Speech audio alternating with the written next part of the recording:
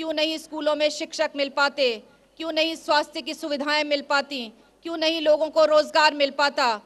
आखिर ये नक्सलवाद का तोड़ विकास के माध्यम से हम किस तरह से पाएँ? आज इसी पर हमारा ये सत्र है और इसकी शुरुआत में मैं प्रारंभिक भाषण के लिए जाने माने शिक्षाविद एस्ट्रोनॉमी और एस्ट्रोफिजिक्स में विशेषज्ञता और शोधकर्ता, जिन्होंने कई शिक्षण संस्थानों में कार्य किया।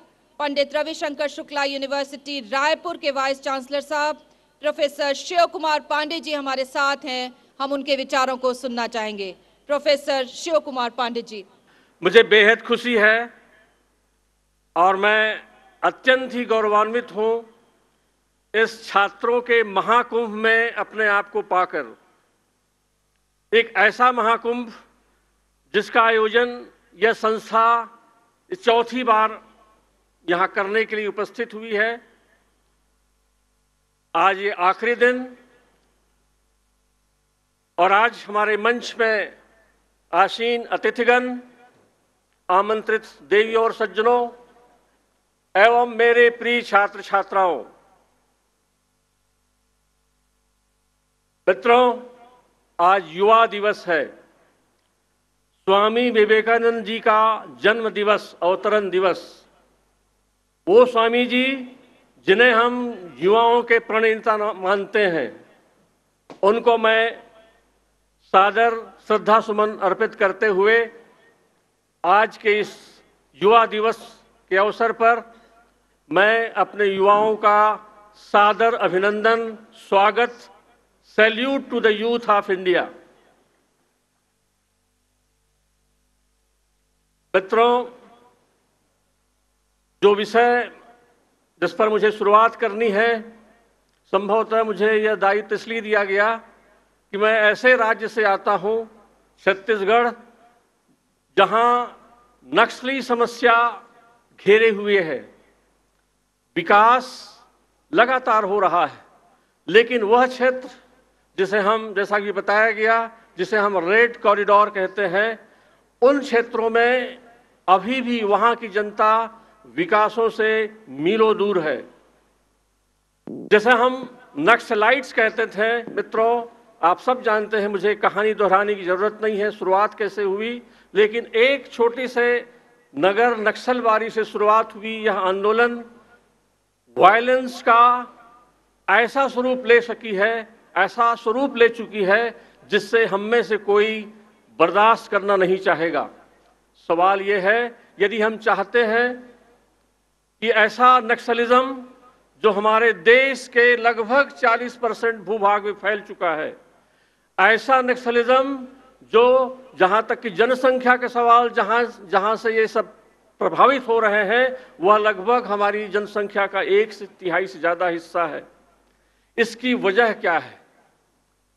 इनके, इनसे दूर रहने के लिए, इनसे निजात पाने के लिए हमें उन मूल तत्वों पर जाना हुआ, जाना होगा, जिसकी वजह से ऐसे नक्सलिज्म की शुरुआत हुई थी। और ये कहने की ज़रूरत नहीं है कि इसके इसके मूल बीज में जो चीज़ उपस्थित है, जिसकी वजह से शुरुआत हुई है, वह है विकास विकास और केवल विकास। तो एक लाइन में यदि मुझे शुरुआत कहनी हो तो मैं कहूँगा नक्सलिज्म का एक ही रास्ता है, वह है विकास, और केवल विकास। ऐसा विकास जिसमें बगैर भेदभाव के, बगैर वर्ण भेद के, बगैर रीजनल डिफरेंस के सब जगह जाए।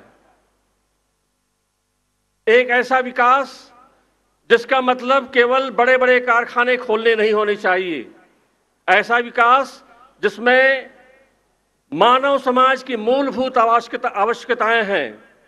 चाहे वो ड्रिंकिंग वाटर की समस्या हो चाहे रहने की समस्या हो चाहे लिवलीहुड की समस्या हो या फिर हेल्थ की समस्या हो आवागमन के साधन जुटानों की समस्या हो जहाँ शिक्षा के ऐसे मंदिर बने जहाँ वो हिस्सा जो नक्सल से सभी प्र, ज़्यादा प्रभावित है वहाँ के बच्चे भी अच्छी शिक्षा पा सके।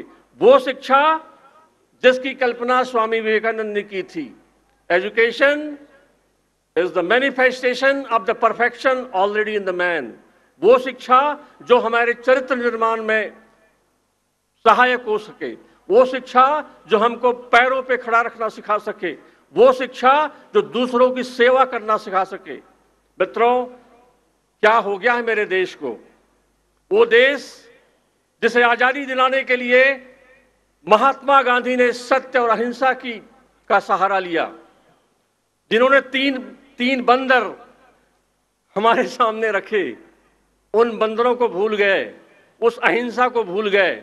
और देखिए, हमारे सामने एक ऐसे हिंसक तत्व हमारे सामने मौजूद हैं, जो कहने के तो अपने हैं, लेकिन उनकी समस्या पूरे देश के में होने वाले विकास में एक बहुत बड़ी बाधक बनी हुई है। मेरे आज के दिन मेरे युवा साथियों से मेरा आह्वान है, भविष्य आप हमारे भविष्य हो।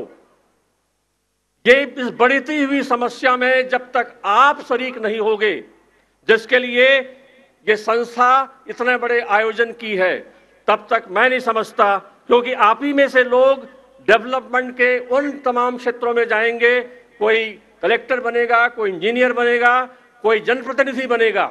यही विभाग, यही विकास की धारा बहाने में सहभागिता निभाते हैं। तो आपको तय करना है कि आने वाले समय में नक्सलिज्म को हम विकास की धारा बहा करके कैसे समाप्त कर सकें। आपने मुझे बुलाया, मेरा सम्मान किया, उसके लिए बहुत सारी आपको धन्यवाद और ऐसे आयोजन के लिए आयोजकों को ढेर सारी बधाइयाँ बहुत बहुत शुभकामनाएँ। जय हिंद! बहुत बहुत शुक्रिया प्रोफेसर पांडे। बहुत बहुत धन्यवाद आपके विचारों के लिए।